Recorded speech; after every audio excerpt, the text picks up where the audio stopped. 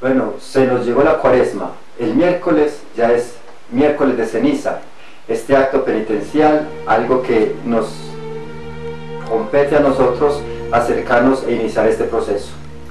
Como bien lo decía don Ramón, ya el miércoles tenemos la oportunidad de volver a adentrarnos en este tiempo de la cuaresma, tiempo en el cual nosotros tenemos la oportunidad, la iglesia nos ofrece el espacio propicio para que reflexionemos, para que interioricemos qué es lo que está pasando en nuestra vida, no solo en el campo civil, sino en todas las dimensiones del ser humano. Bueno, entonces el miércoles se, se irá a impartir o imponer la ceniza a los peligreses, desde qué horas hasta qué horas y cómo se llegan a la comunidad y los grupos de los colegios.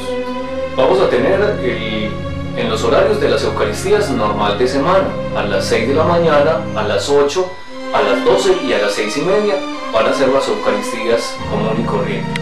Pero cada hora, eh, en el horario, cada hora va a haber liturgia de la palabra y por tanto las personas se pueden acercar para que puedan recibir este signo que nos invita a vivir de una manera especial la cuaresma. Bueno, ¿cómo convocamos a los estudiantes para que vengan a imponerse en la, semilla en el templo, ya que no se van a ir a los colegios como se hacía años anteriores?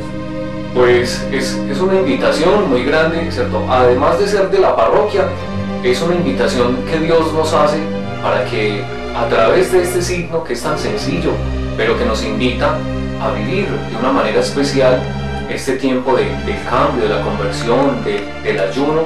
Entonces los invitamos para que nos acompañen en los diferentes momentos, evitando también todo tipo de aglomeramiento, aglomeración.